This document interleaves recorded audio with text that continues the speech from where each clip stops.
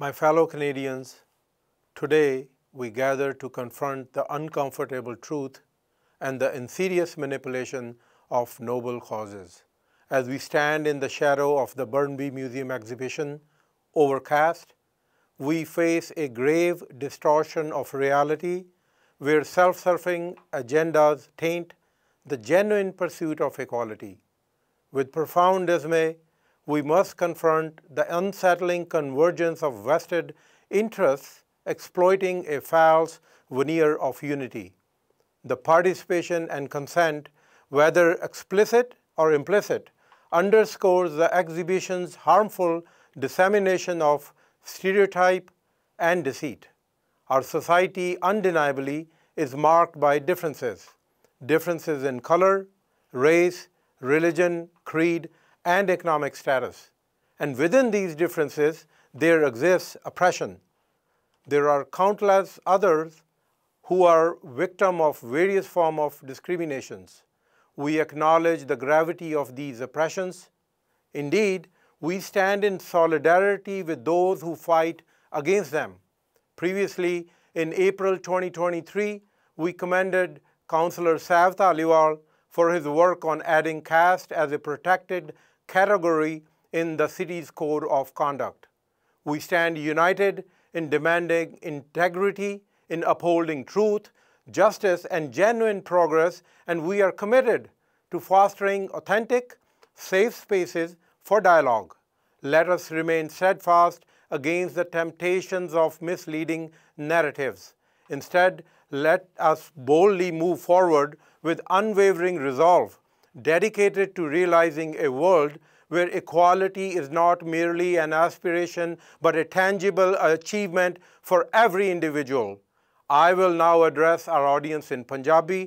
ਆਪਾਂ ਅੱਜ ਗੱਲ ਕਰ ਰਹੇ ਹਾਂ ਇੱਕ ਐਗਜ਼ੀਬਿਸ਼ਨ ਜਿਹਦਾ ਨਾਮ ਹੈਗਾ ਓਵਰਕਾਸਟ ਤੇ ਸਾਡੇ ਇੱਕ ਬੜੇ ਬੁੱਧੀਜੀਵੀ ਪ੍ਰੋਫੈਸਰ ਨੇ ਉਹਨਾਂ ਨੇ ਕੁਝ ਵੀਡੀਓਜ਼ ਬਣਾ ਕੇ ਭੇਜੀਆਂ ਤੇ ਅਸੀਂ ਉਹਨਾਂ ਨੂੰ ਕੋਖਿਆ ਤੇ ਫਿਰ ਖੁਦ ਆਪ ਚਾਰ ਜਾਣਿਆਂ ਦਾ ਗਰੁੱਪ ਲੈ ਕੇ ਬਰਨਬੀ ਮਿਊਜ਼ੀਅਮ ਗਏ। ਐਗਜ਼ੀਬਿਸ਼ਨ ਨੂੰ ਬੜੇ ਮਾਈਕਰੋ ਲੈਵਲ ਤੇ ਜਾ ਕੇ ਦੇਖਿਆ।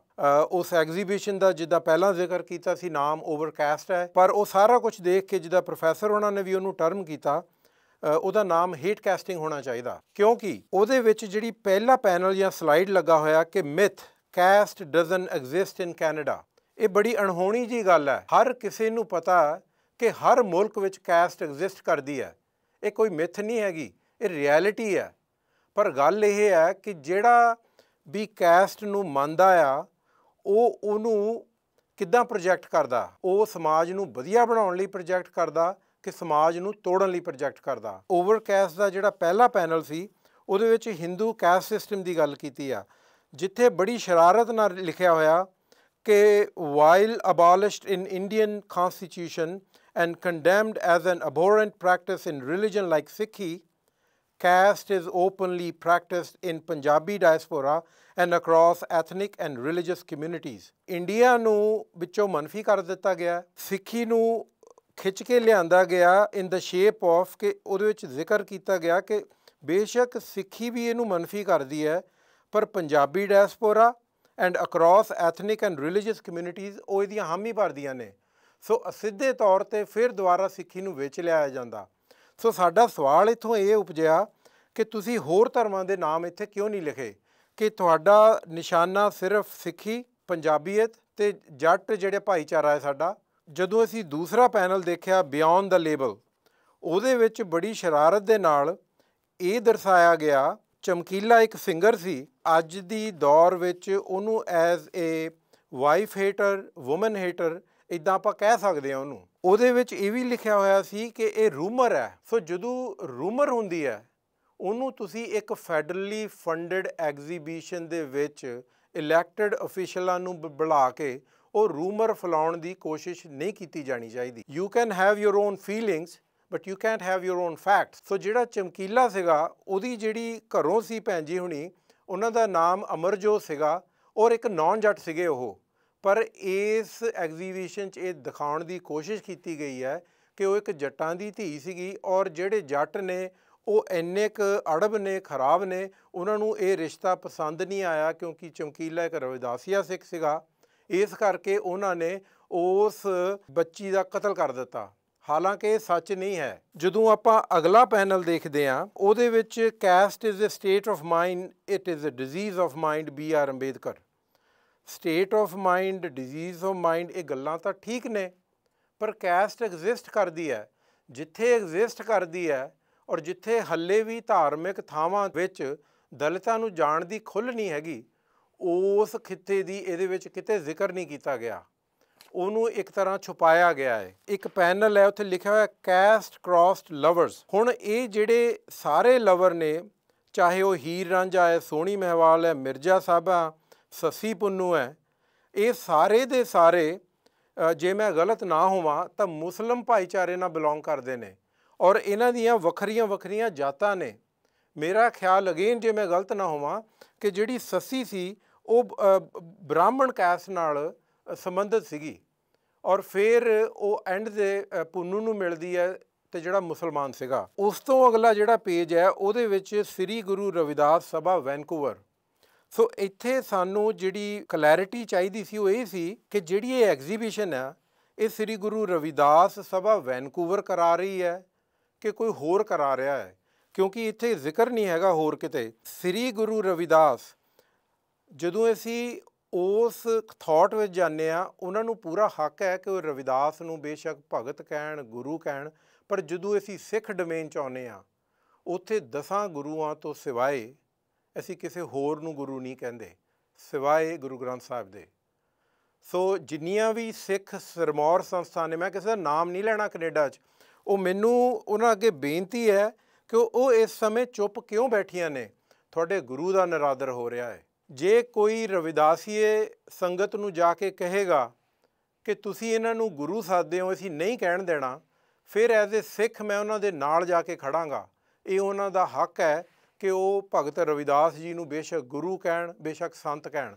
ਪਰ ਜਦੋਂ ਭਗਤ ਰਵਿਦਾਸ ਜੀ ਜਿਨ੍ਹਾਂ ਦੀ ਬਾਣੀ ਗੁਰੂ ਗ੍ਰੰਥ ਸਾਹਿਬ ਵਿੱਚ ਅੰਕਿਤ ਹੈ, ਜਦੋਂ ਉਹ ਇਸ ਡੋਮੇਨ 'ਚ ਆਉਂਦੇ ਆ, ਉਹਨਾਂ ਨੂੰ ਗੁਰੂ ਸਾਹਿਬ ਨੇ ਐਜ਼ ਅ ਰਿਸਪੈਕਟ ਭਗਤ ਸੱਦਿਆ ਗਿਆ। ਤੇ ਇਹਦੇ ਵਿੱਚ ਇੱਕ ਹੋਰ ਸ਼ਰਾਰਤ ਕੀਤੀ ਗਈ ਹੈ। ਅਕਾਲੀ ਸਿੰਘ ਗੁਰਦੁਆਰੇ ਬਾਰੇ ਇੱਕ ਦੱਸਿਆ ਗਿਆ ਕਿ ਆਪਸ 'ਚ ਲੜਾਈ ਹੋਈ। ਉਹਨਾਂ ਨੇ ਕਿਹਾ ਕਿ ਗੁਰੂ ਕਹਿਣਾ ਹੈ ਤੇ ਗੁਰਦੁਆਰਾ ਸਾਹਿਬ ਵਾਲੀ ਜਿਹੜੀ ਸੰਗਤ ਸੀ, ਇੱਕ ਜਾਂ ਦੋ ਬੰਦੇ ਸੀ ਉਹ ਕਹਿੰਦੇ ਤੁਸੀਂ ਗੁਰੂ ਨਹੀਂ ਕਹਿ ਸਕਦੇ ਗੁਰੂ ਗ੍ਰੰਥ ਸਾਹਿਬ ਦੀ ਹਜ਼ੂਰੀ ਵਿੱਚ, ਉਹ ਭਗਤ ਨੇ। ਇਸ ਕਰਕੇ ਉਹਨਾਂ ਨੇ ਆਪਣੀ ਜਿਹੜਾ ਭਗਤ ਦੁਆਰਾ ਹੈ, ਉਹ ਜਾਂ ਗੁਰੂ ਦੁਆਰਾ ਹੈ, ਉਹ ਬਰਨ ਵਿੱਚ ਵੱਖਰਾ ਬਣਾ ਲਿਆ। ਇਹਦੇ ਵਿੱਚ ਕੋਈ ਫੈਕਟ ਨਹੀਂ ਹੈ ਕਿਹਦੀ ਕਿਹਦੇ ਨਾਲ ਗੱਲ ਹੋਈ ਹੈ। ਮੇਰਾ ਖਿਆਲ ਜੇ ਆਪਾਂ ਇਹ ਕੋਰਟ 'ਚ ਲੈ ਕੇ ਜਾਵਾਂਗੇ, ਜਿਹੜਾ ਮੈਨੂੰ ਲੱਗ ਰਿਹਾ ਇਸ ਹੈਡਿੰਗ ਦਾ ਵੇ, ਉੱਥੇ ਇਹ ਹੇਰ ਸੇ ਮੰਨੀ ਜਾਏਗੀ। ਇਸੇ ਤਰ੍ਹਾਂ ਜਿਹੜਾ ਸਮਾਂ ਦਿੱਤਾ ਗਿਆ 1267 ਗੁਰੂ ਰਵਿਦਾਸ ਜੀ ਦਾ ਆਗਮਨ। ਫਿਰ ਜੰਪ ਕਰਕੇ 1469 ਗੁਰੂ ਨਾਨਕ ਦੇਵ ਜੀ ਦਾ ਜ਼ਿਕਰ ਕੀਤਾ ਗਿਆ ਹੈ। ਫਿਰ ਮੇਰੇ ਖਿਆਲ 450 ਸਾਲ ਜੰਪ ਕਰਕੇ 1906 ਦਾ ਜ਼ਿਕਰ ਕੀਤਾ ਗਿਆ ਸ਼ਰਾਰਤ ਇਹ ਹੈ ਕਿ ਜਿਹੜੇ ਸਾਡੇ ਗੁਰੂ ਨਾਨਕ ਦੇਵ ਜੀ ਸੀਗੇ, ਉਹਨਾਂ ਨੇ ਸ਼ਾਇਦ ਉਹਨਾਂ ਨੂੰ ਇਲਹਾਮ ਨਹੀਂ ਹੋਇਆ ਸੀ। ਉਹਨਾਂ ਨੂੰ ਤੁਰਕੀ ਬਾਣੀ ਨਹੀਂ ਆਈ ਸੀ। ਜੋ ਵੀ ਉਹਨਾਂ ਨੇ ਜਗ ਜ਼ਾਹਰ ਕੀਤਾ, ਉਹ ਸਾਰਾ ਕੁਝ ਭਗਤ ਰਵਿਦਾਸ ਹੋਣਾ ਦੇ ਥਰੂ ਆਇਆ। ਇਹ ਲਿਖਿਆ ਨਹੀਂ ਹੋਇਆ, ਪਰ ਇੱਕ ਸਬਲਿਮਿਨਲ ਮੈਸੇਜ ਦਿੱਤਾ ਹੋਇਆ। ਇੱਕ ਜਗ੍ਹਾ ਤੇ ਇਹ ਲਿਖਿਆ ਹੋਇਆ ਇਹਨਾਂ ਪੈਨਲਸ ਦੇ ਵਿੱਚ ਜਿਹੜੇ ਰੈਵੋਲੂਸ਼ਨਰੀ ਹੋਏ ਆ, ਉਹਨਾਂ ਦੇ ਵਿੱਚ ਨਵਦੀਪ ਕੌਰ ਹੈ, ਗਿਆਨੀ ਦਿੱਤ ਸਿੰਘ ਨੇ, ਅੰਬੇਦਕਰ ਨੇ ਤੇ ਗੁਰੂ ਨਾਨਕ ਨੇ। ਸਿੱਖ ਇਹ ਕਦੀ ਬਰਦਾਸ਼ਤ ਨਹੀਂ ਕਰੇਗਾ ਕਿ ਸਾਡੇ ਗੁਰੂਆਂ ਦੀ ਕੰਪੈਰੀਜ਼ਨ ਡਾਕਟਰ ਅੰਬੇਦਕਰ ਨਾਲ ਹੋਵੇ, ਸਾਡੇ ਗੁਰੂਆਂ ਦੀ ਕੰਪੈਰੀਜ਼ਨ ਨਵਦੀਪ ਕੌਰ ਨਾਲ ਹੋਵੇ ਜਾਂ ਭਗਤ ਸਿੰਘ ਨਾਲ ਹੋਵੇ। ਉਹ ਸਾਡੇ ਪੈਗੰਬਰ ਨੇ। ਸੋ ਬੇਨਤੀ ਸਾਡੀ ਫੇਰ ਦੁਆਰਾ ਇਹ ਹੈ ਕਿ ਜਿਹੜੀਆਂ ਸਿੱਖ ਸੰਸਥਾਵਾਂ ਨੇ, ਜਿਹੜੀਆਂ ਰਵਿਦਾਸੀਆਂ ਸੰਸਥਾਵਾਂ ਨੇ, ਅਕਾਲੀ ਸਿੰਘ ਗੁਰਦੁਆਰਾ ਸਾਹਿਬ ਨੇ ਬੀਸੀ ਮਿਊਜ਼ੀਅਮ ਆ ਫੈਡਰਲ ਗਵਰਨਮੈਂਟ ਆ, ਜਿਹੜੇ ਇਲੈਕਟਿਡ ਅਫੀਸ਼ੀਅਲਸ ਨੇ ਜਾ ਕੇ ਉੱਥੇ ਫੀਤਾ ਕੱਟਿਆ ਹੋਇਆ ਜਾਂ ਜਿਨ੍ਹਾਂ ਤੋਂ ਭੁਲੇਖੇ ਨਾਲ ਚਿੱਠੀਆਂ ਦਿੱਤੀਆਂ ਹੋਈਆਂ ਨੇ, ਲਈਆਂ ਹੋਈਆਂ ਨੇ ਕਿ ਇੱਕ ਐਂਟੀ ਰੇਸਿਸਟ ਐਗਜ਼ੀਬਿਸ਼ਨ ਕਰਨ ਲੱਗੇ ਆ। ਜਿਨ੍ਹਾਂ ਤੋਂ ਵੀ ਰਿਸਰਚ ਲਈ ਆ ਉਹ ਇੱਕ ਮੈਨੂੰ ਦੇਖਣ ਨੂੰ ਸ਼ਾਇਦ ਇਦਾਂ ਲੱਗ ਰਿਹਾ ਕਿ ਜਿਹੜੇ ਐਕੈਡੈਮਿਕਸ ਨੇ, ਉਹਨਾਂ ਦੀ ਜਿਹੜੀ ਉਡਾਨ ਆ, ਉਹ ਇੱਕ ਫੇਲਡ ਜਾਂ ਇੱਕ ਬਾਲੀਵੁੱਡ ਪਲਾਟ ਲੱਗ ਰਿਹਾ ਮੈਨੂੰ ਇਹ। ਔਰ ਉਹਨਾਂ ਨੇ ਸਕ੍ਰਿਪਟ ਕਿੱਥੋਂ ਖਰੀਦੀ ਆ, ਜਾਂ ਕਿਹਨਾਂ ਨੇ ਉਹਨਾਂ ਦੀ ਸੰਗੀ ਮਰੋੜ ਕੇ ਉਹਨਾਂ ਦੇ ਮੂੰਹ 'ਚ ਪਾਈ ਆ, ਇਹ ਤਾਂ ਉਹੀ ਜਾਣਦੇ ਨੇ। ਸਾਡੀ ਬੇਨਤੀ ਹੈ, ਆਪਾਂ ਇੱਕ ਦੂਜੇ ਦੀਆਂ ਚੰਗਿਆਈਆਂ ਲੱਭੀਏ। ਉਸ ਸਪੈਕਟਰਮ ਵਿੱਚੋਂ ਜੋ ਅੱਛੀਆਂ ਚੀਜ਼ਾਂ ਨੇ, ਉਹਨਾਂ ਨੂੰ ਅਪਣਾਈਏ। ਇਹ ਗੱਲ ਮੰਨਣੀ ਪਏਗੀ ਕਿ ਦਲਿਤਾਂ ਨਾਲ ਬਹੁਤ ਤੱਕਾ ਹੋਇਆ ਹੈ। ਇਹ ਵੀ ਗੱਲ ਮੰਨਣੀ ਪਏਗੀ ਕਿ ਅੱਜ ਦੀ ਤਾਰੀਖ ਵਿੱਚ ਜੱਟ ਸੁਸਾਈਡ ਕਰ ਰਿਹਾ ਹੈ ਪੰਜਾਬ ਦੇ ਖਿੱਤੇ ਵਿੱਚ। ਇਹ ਵੀ ਮੰਨਣਾ ਪਏਗਾ ਕਿ ਕਾਫੀ ਲੋਕਾਂ ਨਾਲ ਕਾਫੀ ਧੱਕੇ ਹੋ ਰਹੇ ਨੇ। ਪਰ ਇਹ ਨਹੀਂ ਮੰਨਿਆ ਜਾ ਸਕਦਾ ਕਿ ਸਾਡੇ ਦਸਾਂ ਗੁਰੂਆਂ ਤੋਂ ਸਿਵਾਏ ਅਸੀਂ ਕਿਸੇ ਹੋਰ ਨੂੰ ਗੁਰੂ ਗ੍ਰੰਥ ਸਾਹਿਬ ਕਹੀਏ। ਸਾਡੇ ਲਈ ਜਿਹੜੀ ਜਾਗ ਦੀ ਜੋਤ ਹੈ, ਉਹ ਗੁਰੂ ਗ੍ਰੰਥ ਸਾਹਿਬ ਹੈ। ਹੋਰ ਭਗਤ ਹੋ ਸਕਦੇ ਨੇ, ਸੰਤ ਹੋ ਸਕਦੇ ਨੇ ਸੋ ਸਾਡੀ ਇਹ ਬੇਨਤੀ ਹੈ ਕਿ ਇਹਨੂੰ ਕੋਖਿਆ ਜਾਵੇ ਕਿ ਇਹ ਕਿਸ ਤਰ੍ਹਾਂ ਚਲਾਕੀ ਨਾਲ ਅਪਰੂਵਲ ਹੋਈ ਹੈ, ਇਹਦੇ ਵਿੱਚ ਕੌਣ-ਕੌਣ ਇਨਵੋਲਵ ਹੈ? ਸਾਡੇ ਵੱਲੋਂ ਚਾਹੇ ਉਹਨਾਂ ਨੇ 5 ਡਾਲਰ ਦੀ ਫੰਡਿੰਗ ਲਈ ਹੋਵੇ, ਚਾਹੇ 1.5 ਮਿਲੀਅਨ ਦੀ ਫੰਡਿੰਗ ਲਈ ਹੋਵੇ, ਸਾਡੀ ਬੇਨਤੀ ਇਹ ਹੈ ਕਿ ਬਰਨਵੀ ਦਾ, ਸਰੀ ਦਾ, ਲੋਅਰ ਮੇਨਲੈਂਡ ਦਾ ਬੀਸੀ ਦਾ ਇਹਦਾ ਮਾਹੌਲ ਖਰਾਬ ਨਾ ਕੀਤਾ ਜਾਵੇ। ਜਿਸ ਤਰ੍ਹਾਂ ਅਸੀਂ ਆਵਾਜ਼ ਉਠਾ ਰਹੇ ਹਾਂ, ਸ਼ਾਇਦ ਤੁਹਾਨੂੰ ਲੱਗ ਰਿਹਾ ਕਿ ਅਸੀਂ ਰੌਲਾ ਪਾ ਰਹੇ ਹਾਂ ਇਸ ਤਰ੍ਹਾਂ ਦਾ ਰੌਲਾ ਕੈਨੇਡਾ ਦੇ ਹਰੇਕ ਕੋਨੇ 'ਚ ਪਏਗਾ। ਸਾਡੀ ਅਗੇਨ ਬੇਨਤੀ ਹੈ, ਤੁਸੀਂ ਮਾਹੌਲ ਨੂੰ ਖਰਾਬ ਕਰਨ ਦੀ ਕੋਸ਼ਿਸ਼ ਨਾ ਕਰੋ ਔਰ ਜਿਹੜੇ ਜਿਹੜੇ ਵੀ ਸੱਜਣ ਜਿਨ੍ਹਾਂ ਨੇ ਚਿੱਠੀਆਂ ਲਿਖ ਕੇ ਦਿੱਤੀਆਂ ਹੋਈਆਂ ਨੇ, ਉਹਨਾਂ 'ਚੋਂ ਪੰਜ ਬੰਦਿਆਂ ਨਾਲ ਮੇਰੀ ਗੱਲ ਹੋ ਚੁੱਕੀ ਹੈ। ਤੋ, ਤੁਹਾਨੂੰ ਪਤਾ ਹੈ ਤੁਸੀਂ ਕੌਣ ਹੋ। ਸੋ ਅੱਗੇ ਆਓ ਔਰ ਦੱਸੋ ਕਿ ਕਿੱਦਾਂ ਚਲਾਕੀ ਨਾਲ ਤੁਹਾਡੇ ਤੋਂ ਚਿੱਠੀ ਲਈ ਗਈ ਹੈ ਔਰ ਹੁਣ ਜਿਹੜੀ ਆਪਣੀ ਚਿੱਠੀ ਆ, ਆਪਣੀ ਹਮਾਇਤ ਹੈ ਉਹ ਵਾਪਸ ਲਓ, ਕਿਉਂਕਿ ਤੁਸੀਂ ਆਪਣੇ ਅੱਛੇ ਦਿਲ ਨਾਲ ਉਹ ਚਿੱਠੀ ਦਿੱਤੀ ਸੀ ਐਂਟੀ ਰੇਸਿਜ਼ਮ ਦੇ ਖਿਲਾਫ। ਪਰ ਤੁਹਾਨੂੰ ਇਹ ਨਹੀਂ ਸੀ ਪਤਾ ਕਿ ਜਿਹੜੇ ਸਿੱਖਾਂ ਨੇ, ਜਿਹੜੇ ਜੱਟਾਂ ਨੇ, ਜਿਹੜੇ ਪੰਜਾਬੀਆਂ ਨੇ ਚਿੱਠੀਆਂ ਲਿਖੀਆਂ, ਤੇ ਸਾਨੂੰ ਇਹ ਨਹੀਂ ਸੀ ਪਤਾ ਕਿ ਉਹਨਾਂ ਸਿੱਖਾਂ ਪੰਜਾਬੀਆਂ ਤੇ ਜੱਟਾਂ ਦੇ ਸਿਰ ਤੇ ਹੀ ਜੁੱਤੀਆਂ ਪੈਣਗੀਆਂ। ਜਿਹੜੇ ਬਿਜ਼ਨਸ, ਮੈਂ ਉਹਨਾਂ ਦਾ ਨਾਮ ਨਹੀਂ ਲੈਣਾ, ਖੁਦ ਜਾ ਕੇ ਪੜੋ ਪੈਨਲ ਦੇ ਉੱਪਰ ਰਸਮਲਾਈ ਵਾਲੇ ਨੇ ਜਾਂ ਦੁੱਧ ਵਾਲੇ ਨੇ ਜਾਂ ਲੰਗਰ ਵਾਲੇ ਨੇ, ਉਹ ਜਿਹੜੇ ਵੀ ਹੈਗੇ ਨੇ ਉਹ ਬੇਨਤੀ ਕਰਕੇ ਅੱਗੇ ਆਉਣ, ਤੁਹਾਡੀ ਸਪੋਰਟ ਆ, ਉਹਨੂੰ ਆਪਣੀ ਵਾਪਸ ਲਵੋ। ਤਾਂ ਕਰਕੇ ਬਰਨਵੀ ਦਾ, ਸਰੀ ਦਾ ਬੀਸੀ ਦਾ ਤੇ ਕੈਨੇਡਾ ਦਾ ਮਾਹੌਲ ਨਾ ਖਰਾਬ ਹੋ ਸਕੇ। ਐਜ਼ ਅ ਸਿੱਖ ਕੈਨੇਡੀਅਨ ਮੈਂ ਇਹ ਕਹਾਂਗਾ ਕਿ ਸਭੇ ਸਾਂਝੀ ਵਾਲ ਸਦਾਇਣ, ਤੂੰ ਕਿਸੇ ਨਾ ਦਿਸੇ ਬਾਹਰਾ ਜਿਓ। ਸਾਡੇ ਲਈ ਸਾਰੇ ਇੱਕ ਨੇ, ਸਾਨੂੰ ਕੋਈ ਅਦਰ ਨਹੀਂ ਦਿਖਦਾ। ਤੋਹੀ ਮੋਹੀ ਮੋਹੀ ਤੋਹੀ ਅੰਤਰ ਕੈਸਾ? ਸੋ ਜਿਹੜੇ ਲੜਾਉਣ ਵਾਲੇ ਲੋਕ ਨੇ, ਉਹ ਵੀ ਯਾਰ ਤੁਸੀਂ ਬੈਠ ਕੇ ਸੋਚੋ, ਜੇ ਤੁਹਾਡੇ ਨਾਲ ਪਰਸਨਲ ਤੌਰ ਤੇ ਧੱਕੇ ਹੋਏ ਨੇ, ਮੈਂ ਕਿਸੇ ਅਕੈਡੈਮਿਕ ਦਾ ਨਾਮ ਨਹੀਂ ਲੈਣਾ, ਕਿਸੇ ਕਿਊਰੇਟਰ ਦਾ ਨਾਮ ਨਹੀਂ ਲੈਣਾ, ਉਹ ਬੇਨਤੀ ਹੈ ਕਿ ਤੁਹਾਡਾ ਗੁੱਸਾ ਜਿਹੜਾ ਹੈ ਉਹ ਜਾਇਜ਼ ਹੈ, ਪਰ ਗੁੱਸਾ ਸਾਰੀ ਕੌਮ ਤੋਂ, ਸਾਰੇ ਪੰਥ ਤੋਂ, ਸਾਰੀ ਜਾਤ ਤੋਂ ਇਦਾਂ ਕੱਢਣ ਦੀ ਕੋਸ਼ਿਸ਼ ਨਾ ਕਰੋ, ਅੱਗੇ ਵਿਸਾਖੀ ਆ ਰਹੀ ਹੈ।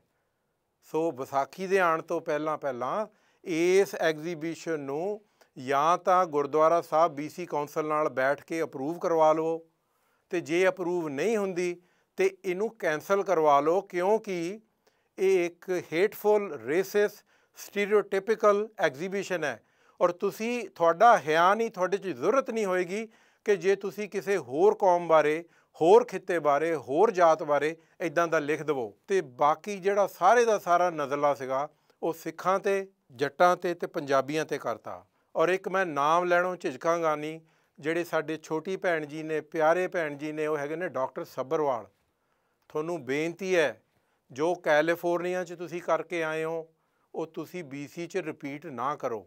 ਇਹ ਸਾਡੀ ਬਹੁਤ ਬੇਨਤੀ ਹੈ। ਤੁਹਾਨੂੰ ਹੱਥ ਜੋੜ ਕੇ ਬੇਨਤੀ ਹੈ। ਬਾਕੀ ਤੁਸੀਂ ਆਪ ਸਿਆਣੇ ਹੋ, ਇਹ ਸਾਡੇ ਵੱਲੋਂ ਸਨੇਹਾ ਹੈ। ਔਰ ਸ਼ਾਇਦ ਕਹਿੰਦਿਆਂ ਹੋਇਆ ਕੋਈ ਭੁੱਲ ਚੁੱਕ ਤਾਂ ਮੇਰੇ ਤੋਂ ਕੋਈ ਨਹੀਂ ਹੋਈ।